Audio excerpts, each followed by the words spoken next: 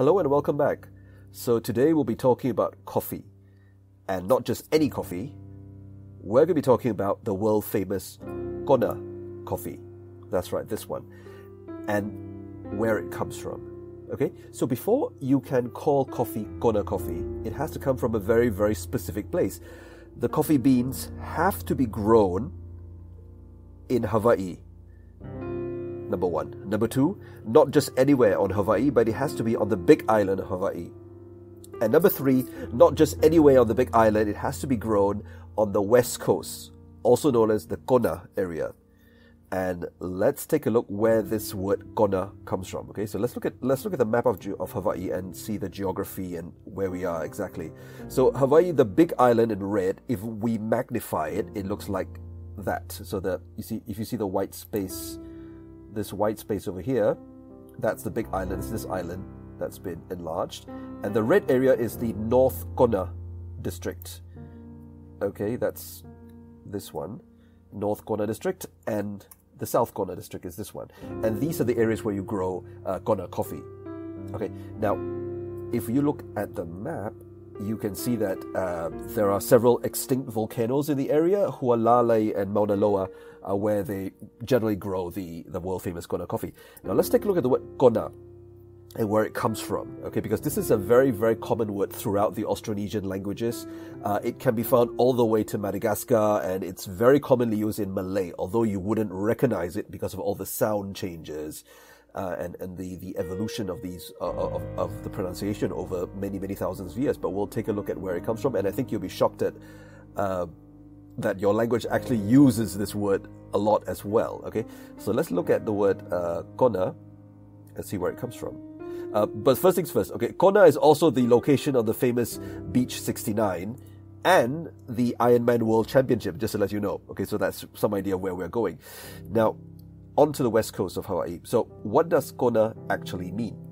Okay, so if you see a, a Hawaiian dictionary will list this Kona in Hawaiian means the leeward side of an island. Yes, I can hear your blank stares and, and all that. Leeward literally means basically it's the side of the island that is shielded from the wind. So the windward side is where the wind blows in. Okay, so on, if you look at a big island like like this, so in Hawaii, the leeward side, the Kona side, is the one that's protected from the wind, and that's the west coast. Okay, the wind normally flows in from the northeast, and that's called the Ko'olau. Okay, so the Ko'olau is the windward side. That's where the wind comes in.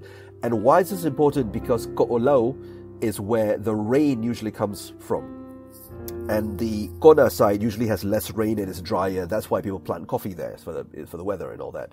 So the drier side is generally the Kona side, the wetter side, and the windier side is the Ko'olau. All right. So let's look at the Kona side and uh, some very very interesting things going on there phonologically. All right. So the word Kona in Hawaiian, if you remember from the previous videos, uh, the K in Hawaiian is usually the T in Maori. So in Maori, it's actually Tonga Okay, and yes, I know what you're thinking, as in the country called Tonga, Tonga.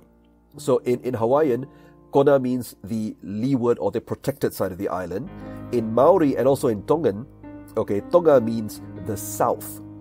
Because in general, I think in because of the, the word uh, Kona or Tonga changes depending on the geography of where you are, which island you are, and your location, and then you of course use a different uh, different word. Uh, sorry, a different um, uh, meaning of the word. So in this case, in Maori and Tongan, uh, Tonga means the south, because the wind generally comes and the rain in these areas comes from the north. So that's why it's south.